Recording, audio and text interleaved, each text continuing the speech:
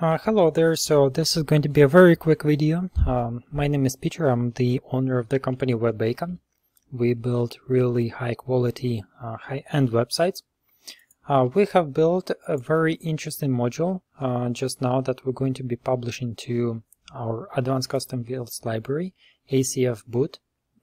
so acfboot.com is a collection of different scripts that we use uh, to build websites. Uh, if you are interested in joining this library, you can uh, join now. And um, it's $1 uh, to try out for the first month, and then it's uh, $5 a month. It contains uh, many different modules and blocks that you can use within your WordPress administration. okay, so I want to give you a quick overview of this specific block. It turned out to be a fairly complex uh, module that is very versatile and can be used in many different applications and different websites. It's extremely user-friendly and it's very uh, lenient, lean on code, doesn't have much code in it. So let's have a look at this case. Uh, we're building a website here for uh, Bros uh, Logistics. Uh, we have a very cool looking websites website that we built through Advanced Custom Fields um, boot library. When we click on services, you can see that we have um, this section that we've built. Um, we have uh, freight, heavy haul, tracking, specialized logistics, and storage. So basically we have tabs that display different information and you might notice that the page doesn't reload. It's not different pages. It's all within one same page. This is a really cool way to display a lot of content on one page without overwhelming the user with different uh, multiple pages that they will have to scroll through and find information for. So that's the nature of this beast. And how did we program it? Uh, we used um, uh, we created a specific code to output um, this information here. Um, and within advanced custom fields uh, basically your customer or yourself as a developer you will be able to add uh, sections yourself. Let's add one section for example. Uh, we're going to click add row. And over here we can specify um, new section section. New section title. We're going to bring this over all, the way to the to be the very first one so we can see the titles of the fields here. One more. Like this. So subtitle will be this is a subtitle.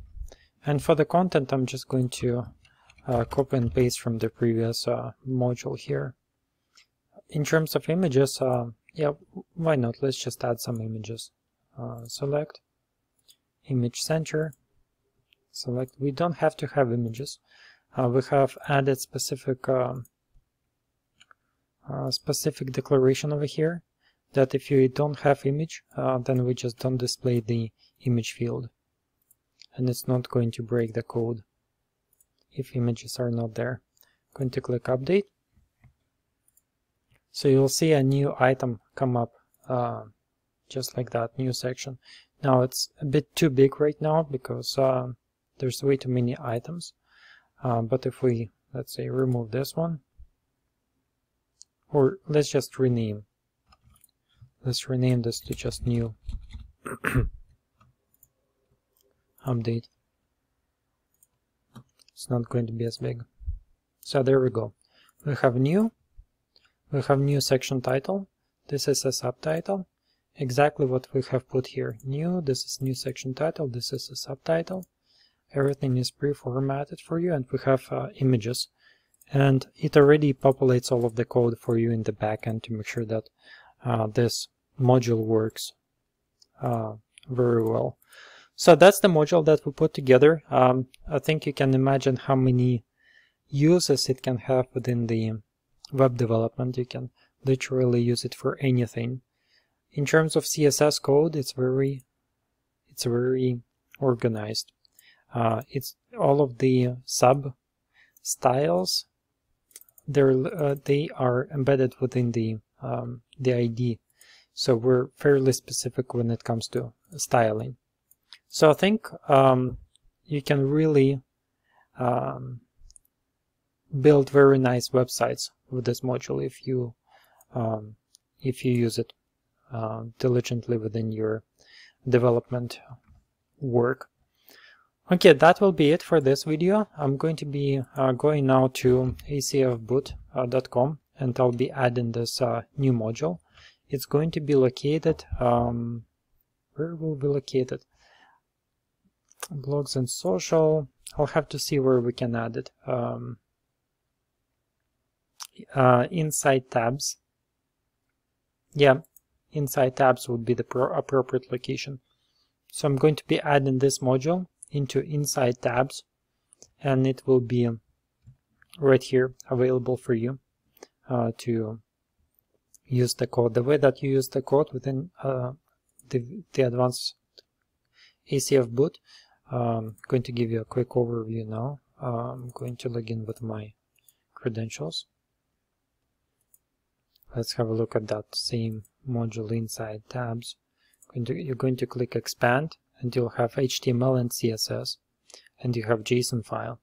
So basically JSON allows you to import all of the custom fields settings into advanced custom fields by going to tools and uh, choosing the JSON file here. Uh, just like that, you'll, you'll click open and it will click import, it will import all of the fields uh, for you automatically. Now HTML is fairly self-explanatory. You head over to your uh, to your template, page template. Uh, you just import it like this, and voila, you have the, all of the code there. Uh, and what else do we have? Uh, we have a CSS file. So you just copy CSS file, and it's uh, there as well. Very easy to use. You can build complex modules Again, this module took us about half a day today to build, uh, four hours, actually longer, about five, six hours to build. It can be used within the next website in a matter of minutes. In five minutes, we can have this running on a new website. So I urge you to not reinvent the wheel, but actually um, reuse uh, the modules that are, have been built by other developers uh, what's really great about ACF boot library is that all of the code that you see here is extremely high quality code. You will not get uh, such a high quality code um, in other locations and we've tried different different other modules and other libraries uh, for the code. So I welcome you to take part in ACF boot library and uh, contribute. If you have something to contribute, uh, let's build this thing together. Take care, bye.